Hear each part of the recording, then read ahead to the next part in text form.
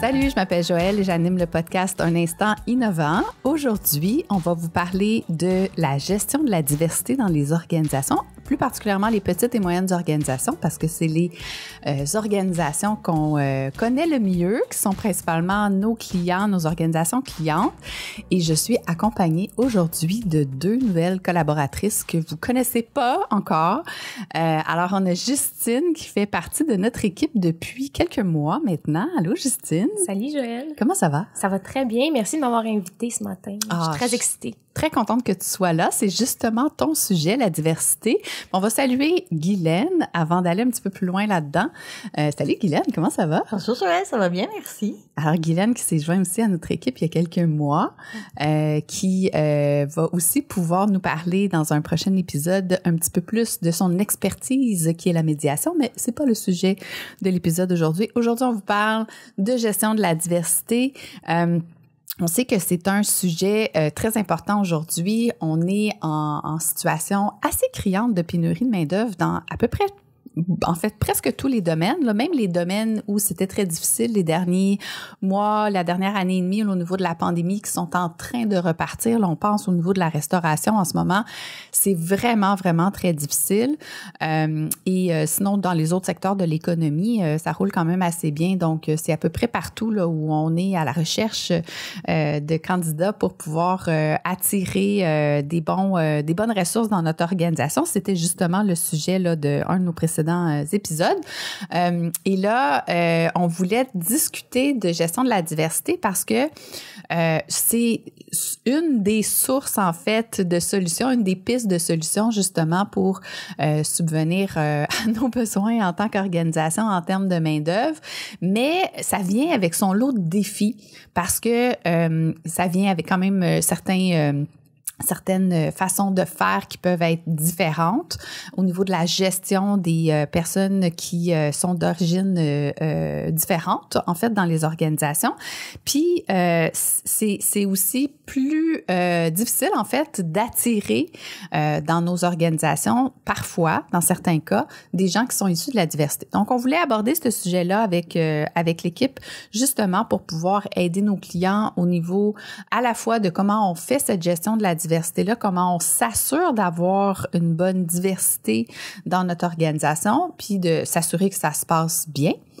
Euh, puis comment aussi on peut se permettre de mieux attirer euh, et retenir les gens issus de la diversité là, dans, nos, euh, dans nos organisations. Alors, c'est le sujet aujourd'hui. Justine a travaillé pas mal sur cette thématique-là au courant des quoi deux dernières années à Presque trois dernières années. Presque trois dernières années. Dans son mémoire de maîtrise, ça a été la thématique que tu as abordée. Alors, c'est frais en plus dans ta mémoire, j'imagine. Beaucoup de lectures sur le sujet beaucoup de recherches. Alors, euh, ben, peut-être commencer par nous parler euh, des obligations, en fait, des organisations, parce que euh, c'est, on dirait, on en parle un petit peu moins parce que là, c'est, devenu un incontournable, je pense, de vouloir attirer des gens qui sont issus de la diversité dans nos organisations. C'est un besoin, mais quand même, il reste que pour certaines organisations, c'est une obligation.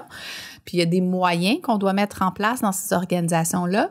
Euh, puis on peut s'inspirer de ces moyens-là, euh, même si pour nous, ce n'est pas une obligation légale. Alors peut-être commencer avec euh, c'est qui les organisations qui ont ces obligations-là, puis de quelle nature euh, on, on, parle de ces obligations-là? Ben effectivement, ben il y a la il y a le cadre légal général là, donc la charte canadienne, la charte québécoise qui s'applique évidemment à toutes les organisations québécoises petites et grandes. Euh, on parle notamment de l'article 10 là, qui nous dit euh, qu'on doit euh, qu'on doit interdire la discrimination en fonction de certains de certaines caractéristiques donc par exemple l'origine ethnique, la race, le sexe, euh, il y a une énumération là euh, à ce niveau-là. Il y a la charte canadienne aussi qui euh, prohibe la même la même la discrimination. La discrimination, oui. Selon les mêmes critères. Exactement à un certain moment dans l'histoire euh, canadienne québécoise, on se rend compte que ce régime-là est pas efficace pour contrer la discrimination parce que c'est un système d'un qui est individualisé. Donc on doit porter plainte lorsqu'on sent qu'on a mm. été victime de discrimination. C'est un processus qui est de, de un très long très coûteux pour la personne et euh, c'est pas c'est des c'est des cas c'est c'est très individuel comme je le disais donc ça ça règle pas des situations de discrimination qui sont plus généralisées.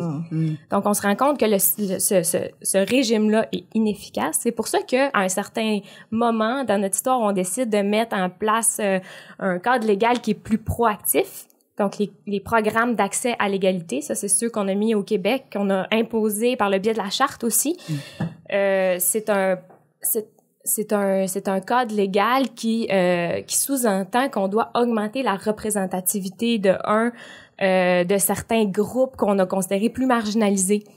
Euh, mais aussi, il y a un volet, c'est ça, il y a un volet quantitatif à ces programmes d'accès à l'égalité, mais il y a un volet qualitatif aussi qui sous-entend que euh, on doit analyser les pratiques, les politiques organisationnelles pour s'assurer qu'il n'y a pas de discrimination. Parce que l'objectif vraiment des programmes d'accès à l'égalité, c'est contrer la discrimination Mhm. systémique, une problématique qui, on l'a vu là, par les statistiques notamment, euh, est encore très présente dans les organisations. Absolument. Mm. Puis c'est qui les organisations qui sont assujetties à cette euh, à ces lois-là qui doivent mettre en place des programmes pour se conformer justement? Ben, il y a plusieurs organisations au Québec euh, qui euh, doivent mettre en place un programme d'accès à l'égalité. On parle notamment euh, des organisations qui, des entreprises privées qui ont plus de 100 employés Mhm. et qui ont soit euh, obtenu ou qui sont à, euh, en recherche d'un contrat gouvernemental de plus de 100 000 dollars. Mhm. Fait que ça, c'est des grandes organisations québécoises, grandes organisations privées. Euh, il y a aussi les organisations, euh, tout ce qui est dans le domaine public. Il y a les entreprises, les, les organisations aussi qui vont décider de le faire de manière volontaire. Fait que n'importe quelle organisation peut décider de, de, de mettre en place un programme d'accès à l'égalité en emploi s'il le souhaite. Mhm. Et il y a ceux aussi euh, qui euh, qui doivent le mettre suite à une décision soit de la commission des droits de la personne, des droits de la jeunesse, ou euh, d'un tribunal. Ah, OK. C'est pas arrivé souvent au Québec. Donc, il y aurait eu une plainte individuelle, justement, puis là, on, on réalise dans l'organisation, même si elle n'est pas assujettie au départ, qu'il y a des pratiques qui sont pas tout à fait euh, euh, adéquates. Donc, là, le juge va dire, vous devez mettre en place un programme d'accès à l'égalité. OK. Mm. OK. C'est rare. c'est très rare. C'est arrivé dans un cas, celui de Gaz Métro, qui a été très médiatisé, Mhm.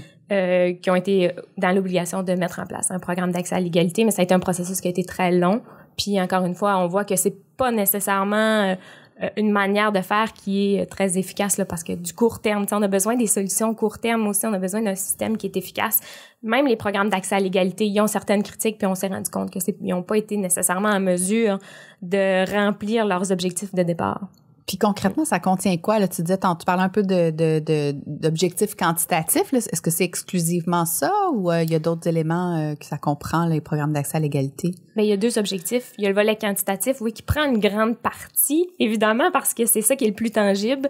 Mais euh, on va demander aux organisations, entre autres, de euh, recenser de manière volontaire, donc par l'auto-identification, de savoir combien de gens, combien de gens par poste. J'essaie de bien m'exprimer pour que ça soit simple, là, mais c'est ils veulent savoir, ils veulent qu'on qu'on qu'on chiffre combien il y a de gens, des groupes pour chaque poste de Mhm. l'entreprise ou de l'organisation. Oui, c'est ça, parce qu'on veut pas nécessairement que les gens issus de la diversité se retrouvent seulement dans les emplois les moins bien rémunérés, par exemple, ou avec le moins de responsabilités, les moins intéressants. On veut qu'il y en ait distribué à travers euh, tous les types de postes dans l'organisation, finalement. là. Exactement. C'est ça l'objectif aussi, puis c'est de voir, euh, ça prend en considération aussi la disponibilité de ces gens-là parce que on s'entend qu'il y a certains domaines où, par exemple, les femmes sont beaucoup moins présentes. Mhm. Donc, on ne demandera pas aux organisations d'avoir un pourcentage de représentation qui va être supérieur à la disponibilité. Mhm. C'est quelque chose qui prend en considération. Ça, c'est des données qui sont, qui sont notamment transmises euh, par la CDPDJ, euh, qui se basent sur euh, des données C'est démographiques. quoi tout la. CDPDJ? Mhm. Ouais, la Commission des droits de la personne et des droits de la jeunesse Merci. leur diminutif. Euh, fait que ça, c'est un volet qui est quand même assez important parce qu'on va essayer, à, partir de ces données-là, de fixer des objectifs. Mhm. Puis ça, c'est un, une des solutions pour augmenter la représentativité, c'est fixer des objectifs. Absolument, on en avait parlé d'ailleurs dans l'épisode avec euh, Candice. Vous pourrez aller écouter euh, cet épisode-là. D'ailleurs, on parlait justement de la gestion de la diversité euh, également dans les, les organisations. Puis, elle nous disait là, que c'est important d'avoir des objectifs quantitatifs à atteindre si on veut s'y rendre, là, parce que c'est quand on se fixe des objectifs qu'on met les moyens et les efforts en place pour pouvoir euh, les atteindre. Sinon, on passe euh, à un autre appel, là, puis on oublie rapidement là, nos bonnes intentions euh, euh, s'il n'y a pas d'objectif fixé dans le fond. Là. OK? Exactement. Puis il y a le volet qualitatif. Mhm. Excuse, dans les dans le quantitatif, là, est-ce que c'est tout, tout, euh, tout, tout critère confondu? Ou si, par exemple, il faut, euh, euh, je sais pas moi, un pourcentage de personnes handicapées, un pourcentage de personnes issues de l'immigration, un pourcentage de personnes, euh, je sais pas trop. Oui, ben c'est exactement ça. C'est en fonction, il y a quatre groupes cibles, quatre ou cinq, dépendamment des programmes. Là, c'est un peu plus euh, compliqué à ce niveau-là, mais il y a les personnes handicapées, les autochtones, les femmes et euh, les minorités visibles ou ethniques. Donc, pour chaque type d'emploi, on doit avoir la représentativité de chacun de ces groupes cibles-là. OK. Fait que à un certain point, c'est sûr que, euh, par exemple, les personnes handicapées, ben, ils, ont, ils représentent pas un, un, un grand pourcentage de notre population au Québec, mais ils représentent quand même un certain pourcentage. On va essayer de, de faire juste de représenter dans l'organisation au même titre que on a dans notre population. Je comprends. Mais tu sais, un employeur, par exemple, pourrait pas dire euh, je vais embaucher quatre femmes parce que c'est un groupe euh, cible, puis ça va répondre à l'entièreté de la politique. Il Non. faut qu'il y en ait de chacun des, des Ouais, groupes. Exactement. Merci.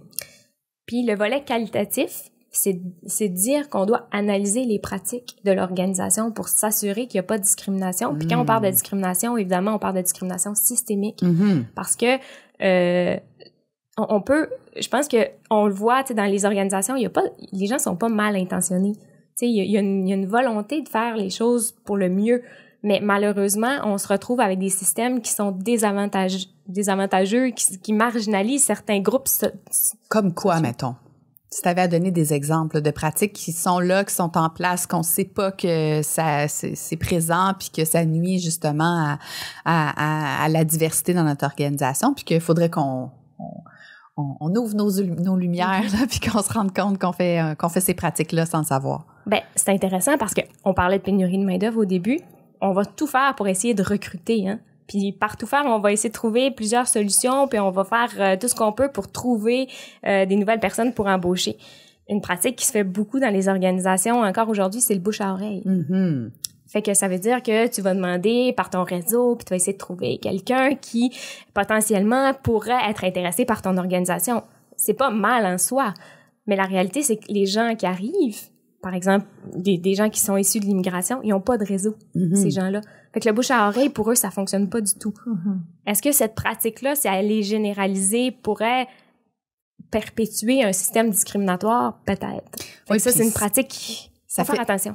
Absolument, Mm. puis ça fait des, des organisations très homogènes aussi parce que souvent dans nos réseaux, on doit avoir tendance à avoir des, une proportion plus grande de gens qui nous ressemblent, Mhm. tu sais, qui euh, euh, vont partager nos valeurs aussi, qui puis là c'est peut-être pas une question nécessairement de diversité, mais c'est peut-être juste une question justement d'être, euh, tu sais, de tous penser un peu de la même façon. Puis ça c'est un peu dangereux aussi quand on est tous pareils, qu'on pense tous de la même façon. euh, on voit pas nos angles morts, là, Mhm. donc euh, effectivement là, de sortir de nos réseaux euh, respectifs pour euh, le recrutement, c'est une bonne idée. C'est pas facile, par exemple. C'est Hein? pas facile, mais c'est On- ça. On est dans un contexte de pénurie de main-d'œuvre, puis je pense que ça, c'est la problématique qui, qui nous force à essayer de faire tout pour trouver des nouveaux, euh, des nouveaux employés. Fait que, Tout à fait. Puis, tu sais, on, on, puis moi, j'ai envie de te- tout de suite te poser la question, tu sais, puis Guylaine, tu pourras aussi renchérir. Tu as été justement gestionnaire dans une organisation pendant plusieurs années, ou plusieurs organisations pendant plusieurs années.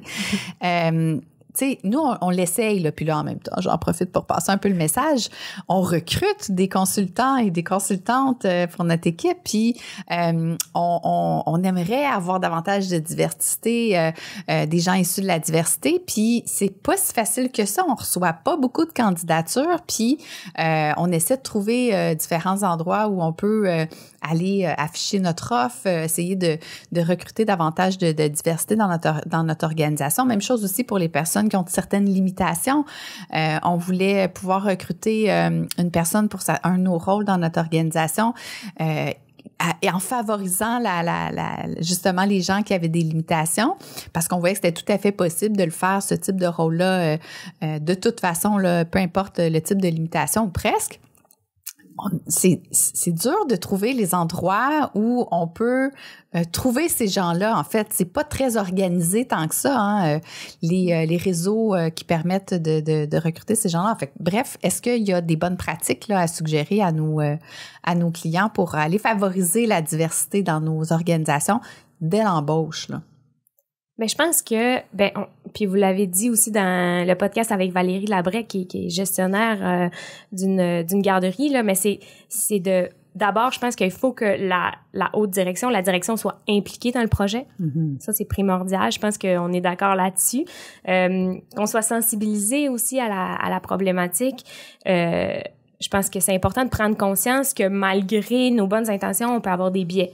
C'est ça, c'est des, des choses de Mhm. base, mais je pense qu'il faut le répéter parce que des fois, c'est dur de se rendre compte que nous-mêmes, on peut euh, propager ou euh, tu sais, euh, perpétuer certains certaines stéréotypes certains stéréotypes pardon euh, fait que ça c'est des choses qu'il faut c'est sûr prendre en considération avant mais euh, au niveau pratico-pratique là tu sais on, on parlait notamment euh, des organismes communautaires qui ont euh, une plus grande proximité avec euh, les, les populations euh, notamment les populations immigrantes il y a beaucoup euh, d'organismes communautaires particulièrement à Montréal qui euh, favorisent l'employabilité euh, Mhm.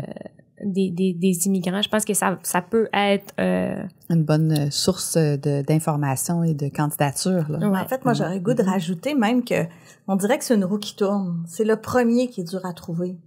Parce qu'après, tu fais ton nom. Tu sais, moi, pour avoir déjà travaillé dans des organisations où on avait, on était une équipe de 10 et finalement sur 10, il y avait seulement deux Québécois. Il y avait Polonais, Roumains, Français, euh, des Africains. Fait que finalement, c'était nous la minorité visible, les Québécois de notre organisation. Et un peu la même chose quand tu veux embaucher euh, des gens avec des limitations. Mhm. C'est le premier qui est dur à trouver parce qu'une fois que dans le milieu des personnes handicapées, ils savent que tu es un employeur potentiel, crois-moi que ça fait le tour assez vite là. Mhm. Puis c'est déjà ça aussi. tu sais comme j'aurais le goût de- j'aurais le goût de dire c'est comme un piège aussi un peu parce que après moi je me suis déjà euh, il a fallu un jour que je me pile sur le cœur parce que justement il, il, il voulait tellement m'en envoyer des gens avec limitation mais tu sais, ces gens, ces, ces personnes-là qu'on embauchait, nous, il fallait quand même les accompagner, puis adapter le travail pour eux, puis, puis à un moment donné, ça demande une équipe derrière. Puis quand tu es déjà une toute petite équipe, très souvent débordée, tu sais, tout le monde, euh, en fait, moi je disais toujours, on est toute une équipe, mais on fait tout seul. Tu sais, chacun à nous-mêmes, on est notre équipe, puis ensemble, on est une équipe. Mhm. Donc, c'est sûr que quand tu arrives avec quelqu'un qui a besoin d'un peu plus d'encadrement, euh, de, de matériel adapté, euh, d'un peu plus de temps pour faire le même travail que quelqu'un d'autre, comme employeur, on a une bienveillance puis cette volonté de les accueillir, mais encore faut-il avoir l'honnêteté envers soi-même de dire est-ce que je suis la bonne organisation dans ce contexte-là, puis de mettre une limite, de dire ben oui c'est possible pour nous, mais ma- pour nous mais maximum deux par exemple. Parce que là si j'en ai trois, quatre, cinq, ben à un moment donné ça va ça, va devenir dysfonctionnel, Mhm. puis ça crée ça peut créer des tensions dans l'équipe. Ben, parlant de tension dans l'équipe, justement, tu sais, on en parlait en, en début de d'émission. euh, ça peut amener son lot de, de complexité aussi, euh, d'a- d'avoir davantage de diversité dans notre équipe. Il y a beaucoup de nos clients qui nous en parlent, qui ont un souhait d'augmenter la diversité dans leur équipe, qui ont certaines craintes soit parce qu'ils ont vécu dans le passé des difficultés euh, à ce niveau-là, ou euh, parce qu'ils ont entendu des, euh, ou pa- parce qu'ils ont des, des biais eux aussi là, euh, comme tu le disais, Justine, on en a tous. Qu'est-ce qu'on doit mettre en place pour idéalement prévenir les euh, les problématiques au niveau de la gestion de la, de la diversité. Qu'est-ce qu'on doit savoir euh, justement sur les, les différentes possibilités qui peuvent survenir? Comment on peut prévenir les pratiques discriminatoires une fois que les gens sont euh, sont dans notre organisation également? On veut les retenir là une fois qu'on les a trouvés ces gens-là. Euh, Qu'est-ce qui seraient vos recommandations à ce niveau-là? Ben, moi, je commencerais par dire que quand tu décides d'embaucher euh, une personne euh, différente, peu importe euh, quelle est sa différence, il faut que tu prennes conscience que peut-être que euh, tu vas être obligé justement de faire des adaptations. Mhm. Tu sais, des fois, il y a des gens qui aiment mieux, encore une fois, c'est pas euh, mal intentionné, mais qui aiment mieux cacher peut-être la différence, faire comme si elle n'existait pas. Moi, je pense qu'au contraire, quand on embauche quelqu'un, on doit admettre sa différence, tu sais, on doit l'accepter d'abord puis dire ouais ben cette personne là peut-être que elle elle va avoir certaines barrières que nous on n'aura pas tu sais Mhm. puis moi je pense que c'est c'est un lien un peu avec ce que tu disais Guylaine euh, je sais pas si tu es d'accord avec euh, avec ce que je dis Ben oui, tout à fait, tout à fait. En fait, il, il faut obligatoirement qu'on ajuste puis qu'on soit honnête. Puis, mais, mais tu sais, la, la personne qu'on embauche, elle a aussi ce, ce devoir d'honnêteté à notre égard. Tu sais, on, il- Puis, tu sais, moi, je connais bien le milieu des personnes handicapées.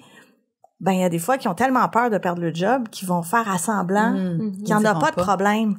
Puis ils vont plutôt patauger puis piocher Mhm. euh, plutôt que de demander de l'aide parce que ça ça met de l'avant finalement leurs limitations. Mhm. Puis comme je disais tantôt, quand ils sentent en plus que le collègue de travail à qui il peut poser la question euh, le trouve un peu dérangeant ou le trouve trop prenant ou trop accaparant, ben tu finis par dire attends, je vais m'arranger tout seul, mais toute l'organisation à ce moment-là en souffre. Donc euh, il y, a un fragile équilibre, je pense. Puis effectivement, comme tu disais, Justine, il faut absolument que la haute direction soit partie prenante de ce projet-là, sinon c'est pratiquement voué à l'échec. Mais tu sais, il y a aussi cette en tout cas encore là comme gestionnaire tu sais à un moment donné euh, j'avais embauché une personne puis tu sais moi j'ai j'ai comme valeur l'équité pour moi c'est super important puis là ben euh, cette personne là était arrivée de l'immigration puis euh, elle est venue me voir puis elle m'a dit écoute Guylaine ben moi euh, tu sais vous les québécois vous avez le congé de Pâques ben moi j'aimerais ça avoir le congé du mouton ben, premièrement, je savais pas qu'il y avait une fête du mouton. Et puis là, on fait quoi? On fait, on fait comment? Dans, tu sais, on fait comment pour s'ajuster, euh, être équitable, mais en même temps euh, respecter nos valeurs, euh, respecter le reste de l'équipe. euh, comment on fait pour que ça ne devienne pas tout puis n'importe quoi? Mhm. Ouais, Parce que la difficulté, c'est que si tu acceptes pour une personne, tu crées un précédent, puis là, après, il y en a pour, euh, pour, tous les goûts, là, des, des potentiels euh, congés, fait, ouais. fêtes, euh, etc. Donc, euh, qu'est-ce qu'on fait dans ce temps-là? Sais, toute ma compassion vis-à-vis des gens qui pratiquent le ramadan, par exemple. tu sais, Mhm. Les deux premières semaines, ça va, mais les deux dernières semaines, ils sont épuisés, fatigués. Puis là, tu fais comment pour, pour leur demander le même rendement, alors que de toute évidence, on va juste pousser sur une corde, comme je dis? Mais le reste de l'équipe a continué de fonctionner, elle. Mhm. Que, En tout cas, c'est délicat. Comment comment on, on arrime tout ça? Est-ce qu'il y a des euh, est-ce qu'il y a des meilleures pratiques à- ou des, des, des pistes de, de solutions ou des références à nous donner? Ben c'est sûr que tu sais il y a pas de, de solution euh, solution euh, parfaite à ces problèmes-là. Je pense que chaque organisation peut décider de, de, de mettre en place ce qu'il souhaite aussi. Tu sais, je pense que un des points, ça peut être l'écoute, premièrement, de prendre en considération ce que la nouvelle personne te dit, tu sais, Euh, la communication aussi, de communiquer avec le reste de l'équipe. Est-ce que vous êtes à l'aise avec telle chose? Est-ce que ça vous dérange si on autorise ça puis on, on vous l'autorise pas à vous? Tu sais, c'est sûr que mais je je sais pas si euh, si euh, c'est ça des solutions miracles à ce niveau-là mais je pense que on peut faire du mieux qu'on peut tu sais puis de vouloir d'être à l'écoute puis de communiquer je pense que ça peut être des moyens euh, Je pense qu'il faut être, sais, il faut être conscient de l'aspect légal. L'aspect légal étant le minimum qu'on doit offrir finalement euh, dans ce Mhm. genre de situation-là. C'est sûr que quand on parle, par exemple, de contraintes au niveau euh, euh, religieuse, par exemple, tu nommais le, Mhm. le ramadan, ben les organisations ont une obligation d'accommodement raisonnable. Donc, euh, on s'entend que une- un accommodement raisonnable sera pas la, le- le- du même ampleur pour un OBNL de 10 personnes que pour euh, une grande multinationale. Ouais. Donc ça, faut quand même euh, en être conscient. Mais au-delà de du minimum qui est requis par euh, les lois, euh, il y a, y a tout l'aspect justement que tu disais des, de l'écoute, de la- de l'empathie, de la compassion. Fait qu'il y a rien qui nous empêche d'aller plus loin, mais tout en respectant la notion d'équité aussi à l'interne. Fait que c'est pas simple effectivement. Puis je pense qu'il n'y a pas une recette qui est euh, applicable Mhm. euh, de façon uniforme partout dans toutes les organisations. C'est vraiment un peu du cas par cas d'une organisation à l'autre. Par contre, la cohérence et la constance euh, dans la même organisation pour des, euh, des cas similaires, ça c'est vraiment important. Tu sais, on peut pas dire quelque chose, oui à un pour euh, une demande puis non à l'autre pour une demande tout à fait similaire. C'est là où ça commence à créer des problématiques là. C'est intéressant ce que tu dis parce que je pense que ça s'applique aussi à plusieurs points de vue au niveau de la diversité la cohérence Mhm. tu sais, de mettre aussi, je voyais certaines organisations euh, euh, qui mettaient certaines petites pratiques ici et là, tu sais, mais c'était pas nécessairement cohérent dans leur système d'emploi, tu sais. Ça aussi, c'est quelque chose qu'il faut garder en tête. Tu sais, il faut essayer qu'on de mettre en place des choses qui vont s'inscrire en congruence aussi les unes avec les autres. Fait que Je pense que ça pourrait s'appliquer aussi à, à, à d'autres euh, à d'autres points de vue au niveau de la diversité. Puis est-ce qu'on devrait avoir un programme? Est-ce qu'on devrait avoir une politique? Tu sais, tantôt, on parlait des organisations qui ont l'obligation d'en mettre euh, en place, mais c'est généralement pas, en, tout cas, ça vise pas nécessairement les gens qu'on nous, on accompagne, puis peut-être les gens qui écoutent euh, euh, le podcast. Donc, c'est quoi les avantages de quand même s'inspirer de ce que doivent faire les organisations qui sont assujetties, puis les avantages de mettre en place quand même là, un programme ou une politique euh, qui s'appliquerait là, de, de, dans toute l'organisation, euh, selon toi? Ben, les programmes d'accès à l'égalité en emploi, ça a été comme jugé par certains auteurs au Québec euh, comme un très bon moyen. sais, là, il est plus ou moins bien appliqué, puis on voit qu'il y a certaines lacunes au niveau, euh, même pas des organisations, mais du, mm-hmm. du, de, de, de l'engagement du gouvernement dans la politique, euh, même de, de, la commission aussi, qu'il y a des que pour diverses raisons. Ben, peu importe, euh, malgré les, les lacunes qu'on a pu identifier, je pense que ça a été quand même jugé comme un, un bon moyen pour augmenter la représentativité puis pour contrer une forme de discrimination qui est euh, persistante. Mm-hmm. Fait que même si on n'est pas obligé de l'appliquer à la lettre non plus, mais de, de voir comment ça s'inscrit, de s'intéresser à ça, euh, d'essayer de l'appliquer du mieux qu'on peut, je pense que ça peut juste favoriser, puis ça donne aussi des outils euh, pour euh, pour augmenter la représentation représentation de, de, certains groupes marginalisés, mais aussi au niveau des, de l'aspect qualitatif aussi, comment on analyse des politiques, des pratiques organisationnelles, comment on peut faire. Ça nous donne tout un, un schéma, on va dire, pour, euh, pour essayer de gérer la diversité, puis de, en même temps aussi de, de, de, de de, de, mettre en place de, de, de, mettre en place un système complètement égalitaire, mm-hmm. équitable, tu sais. Fait que je pense que oui, même si ça s'applique pas, je pense que ça peut être un très bon outil de base, puis en plus de mettre en place un programme, ben ça ça donne aussi euh, de l'écrire, de le mettre en place, ben c'est quelque chose de plus structuré. Je pense que ça peut être aussi très bon pour les organisations. C'est mobilisateur aussi pour les employés de savoir là, que cette, euh, cette ce programme-là en place, euh, mm-hmm. euh, ça, ça parle beaucoup au niveau de la culture, des valeurs aussi qu'on veut euh, qu'on veut diffuser. en même temps, ça peut être aussi un bon levier quelque part parce que, tu sais, bon, depuis le début du podcast, on parle des, des difficultés de mise en place, de, de, de, la pression que ça peut mettre sur les équipes de travail, mais au-delà de ça, il y a plein d'affaires à apprendre, tu sais, dans le sens où moi, dans les organisations où j'étais, on a fait plusieurs plusieurs scénarios, c'est-à-dire qu'on a fait des potlucks de Noël où chaque personne mm. amenait un, un, un plat de son pays euh, après, à un moment donné, on s'est dit, ah, c'est trop loin de Noël, donc on le faisait un, un midi par mois, ah, où c'était quelqu'un qui amenait le repas pour tout le monde, mais de son propre pays. Et euh, ce qu'on a fait aussi avec les gens qui ont des handicaps, entre autres, bon, moi j'ai beaucoup travaillé avec les gens qui avaient des handicaps visuels, bon, on a fait une leçon de braille qu'est-ce que ça veut dire apprendre le braille? Hmm. euh, Qu'est-ce que ensuite on a fait venir euh, quelqu'un qui parlait le langage des signes pour qu'elle nous explique un peu comment ça se passait. Donc ça ouvre les horizons, ça permet de voir que finalement tout le monde peut contribuer à notre société. Puis je pense que ça facilite aussi l'acceptation de peut-être petits privilèges petits privilèges ou en tout mm-hmm. cas des, des, des, permissions qui semblent des privilèges auprès des employés parce qu'ils comprennent mieux. La culture de l'autre personne. Ouais. Ah, ça c'est euh, intéressant ça quand même comme euh, parce que oui, des fois les, les, les, conflits à l'interne ou les, les difficultés de gestion de la diversité peuvent venir du fait que d'autres employés vont trouver inéquitable certains privilèges qu'on pourrait accorder. Euh. Tout à fait. Alors que des fois c'est juste des aménagements raisonnables ou je sais pas comment te dit tantôt. oui, c'est ça, exactement. Accommodement raisonnable. Accommodement, je savais que c'est pas aménagement. Donc, accommodement raisonnable, c'est pour, pour l'employeur, c'est un accommodement raisonnable, mais mm. pour d'autres employés, ça peut être perçu comme un privilège. Mm, très intéressant. Puis, en tant que justement euh, euh, ancienne DG d'OBNL et d'organisation, là, est-ce que tu as des recommandations à faire justement euh, aux gens qui nous écoutent, qui sont dans cette euh, situation-là, des, des do's and don'ts ou des, des choses à, à, faire attention en termes de gestion de la, de la diversité, là, de ton expérience? Euh, qu'est-ce que tu leur dirais? Là? Ben, d'abord, il faut absolument rapprocher les gens, donc assurer des ponts de communication mmh. entre toute l'équipe pour justement éviter ces malentendus-là ou ces non-dits. C'est souvent bien plus des non-dits que des malentendus. Il y a personne qui va oser rien dire, puis ça va tout se passer euh, dans le corridor autour de la machine à café. Donc, euh, il y a cette importance, je pense, de garder des, des ponts de communication.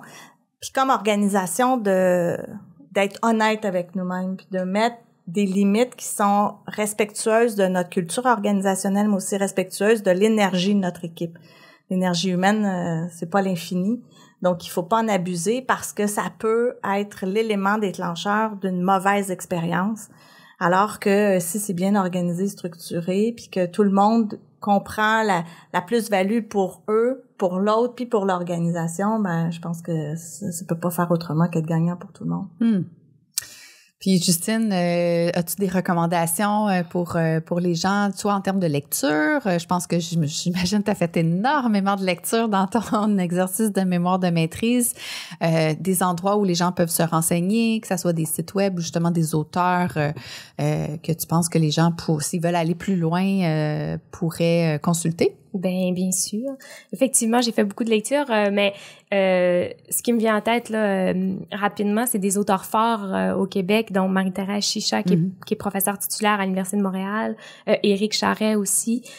professeur à l'ENAP, qui sont qui ont écrit sur les programmes d'accès à l'égalité, qui ont émis des recommandations aussi pour les organisations qui sont très intéressantes à lire.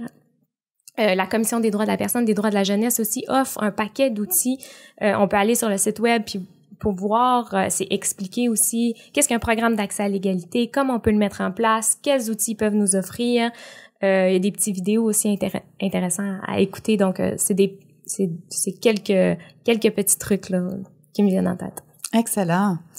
Ben, les filles, merci beaucoup pour euh, ce bel épisode. Merci pour votre contribution. C'était super euh, intéressant comme discussion. J'espère que vous avez aimé l'expérience puis vous allez revenir euh, une prochaine fois. Avec plaisir. Ben Alors, merci beaucoup pour votre écoute. si le sujet vous a intéressé, n'hésitez pas à nous donner des étoiles. Ça nous fait toujours plaisir. Nous, ça nous encourage à poursuivre notre exercice de, de diffusion des, des podcasts. puis, n'hésitez pas à, nous envoyer des sujets qui euh, peuvent vous intéresser, que vous aimeriez que l'on traite. Alors, euh, merci beaucoup. Bonne fin de journée à tous. Bye bye.